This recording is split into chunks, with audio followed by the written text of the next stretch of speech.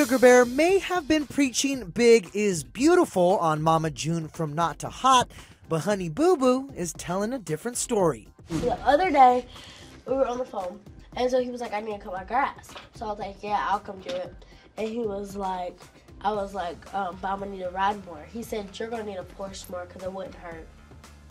It wouldn't hurt for you to lose weight, and I think that was the most ignorant thing that he could ever told anybody. Or did that make you hurt? Were you kind of mad, or were you?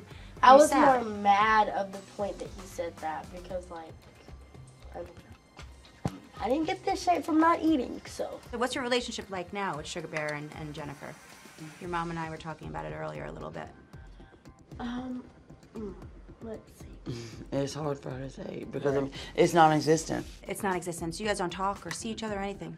He calls me every once in a blue moon. So if there's a blue moon outside, he's gonna call me.